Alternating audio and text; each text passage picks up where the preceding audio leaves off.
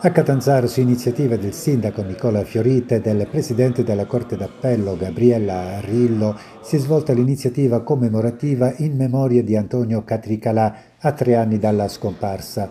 Antonio Catricalà è stato tra i numerosi incarichi avvocato cassazionista, magistrato del Consiglio di Stato, sottosegretario di Stato alla Presidenza del Consiglio dei Ministri, con funzioni di segretario dello stesso durante il governo Monti, viceministro al Ministero dello Sviluppo Economico durante il governo Letta. Il dottor Catricalà è stato per tutti un esempio di um, serietà e di competenza. Eh, competenza dovrebbe dovrebbe essere la stella polare che guida diciamo, le nostre scelte e le nostre azioni ed è purtroppo invece qualcosa di cui attualmente si sente molto la mancanza.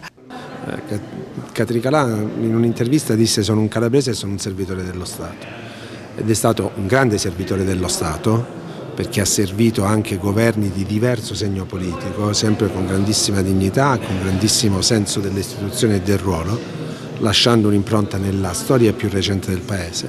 Però è stato anche un grande calabrese perché ha sempre coltivato questo legame con la nostra terra, in particolare con la nostra città. Il nostro impegno è di, da oggi eh, di trovare mode, forme per ricordare come si deve una persona di questo livello così alto. Presente all'evento Maria Catricalà, sorella di Antonio.